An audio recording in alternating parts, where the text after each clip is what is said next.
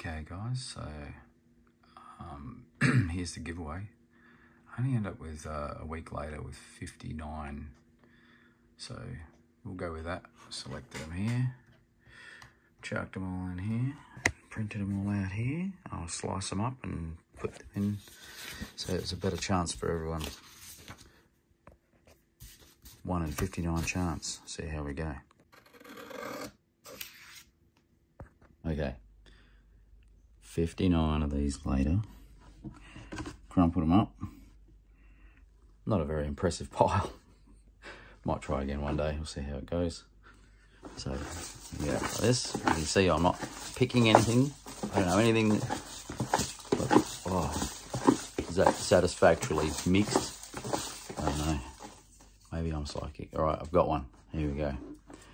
For this beautiful doublet, let's have a look. What do we got here? Who did we get? Oh, Lu A. L U A. Luann. I think that's who it is. I think you'd be happy with that.